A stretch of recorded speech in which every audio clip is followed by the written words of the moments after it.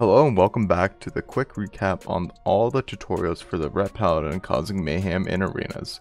Today we're going to be going over quickly of everything that we've learned during this adventure of the Ret Paladin.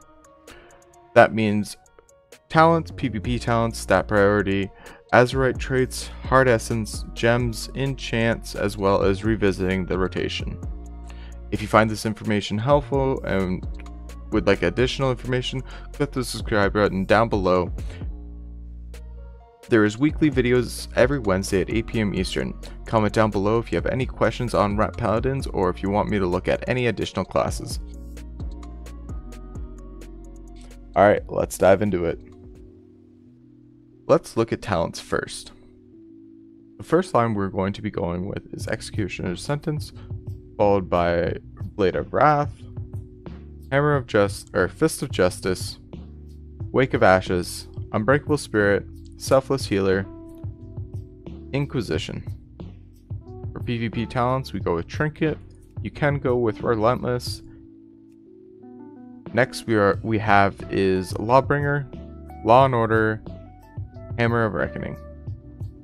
You can also go with Blessing of Sanctuary, Stat priorities for the versatility, versatility build is obviously strength, followed up with versatility, haste, crit, mastery, or mastery crit.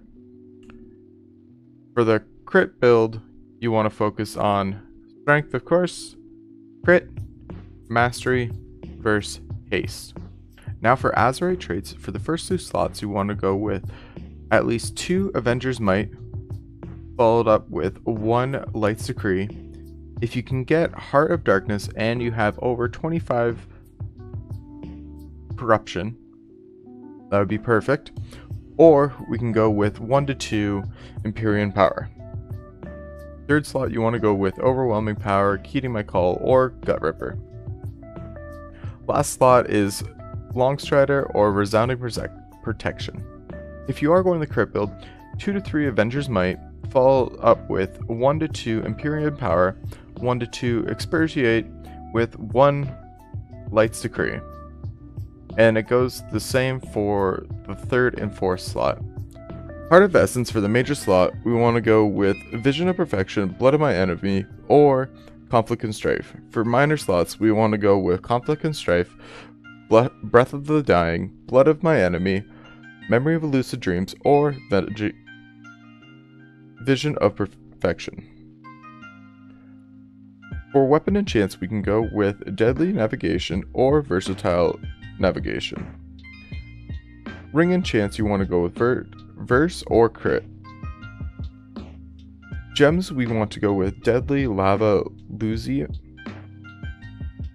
or Versatile Dark Opal, depending on which build you're going with.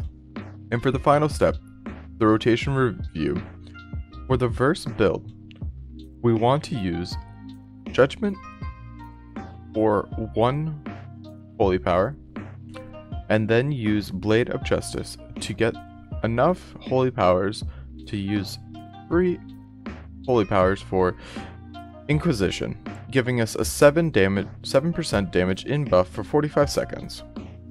We are then going to and then we're going to go through our rotation to get enough holy power to use Executioner's Sentence. At all times, we want to make sure that we have Inquisition up. So we're going to spend 3 holy power to get that 7% damage buff increase as well as haste buff. When we spend 3 holy power on Inquisition, we're going to have this buff for 45 seconds. For our kill target window, we are going to make sure that we have enough holy power, 3, for executioner sentence. After using executioner sentence, we're going to hit them with a judgment, followed up with avenging wrath, using wake of ashes, and then finally using Templar's verdict. It's going to look something like this.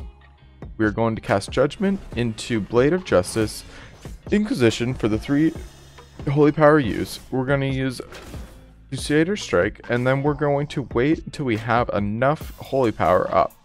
Once we have enough holy power, we are going to pop Executioner's Calling.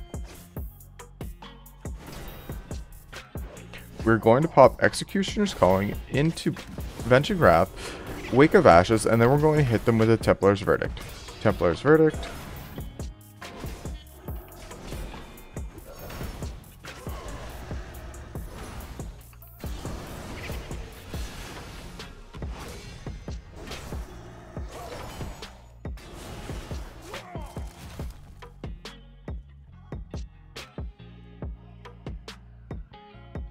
It's going to look a little something like that.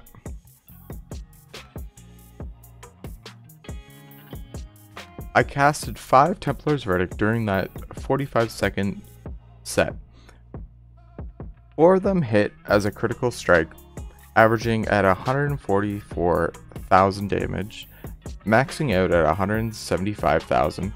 Although this is on a dummy, you can see roughly what it's going to be like in PvP arenas. That is it for this final video on Ret Paladin Recap. Remember there's weekly videos every Wednesday at 8pm Eastern. Hit the subscribe button and get notifications on my next videos. Don't forget to hit the like button. This is FoxZer0G giving you Ret Paladin information.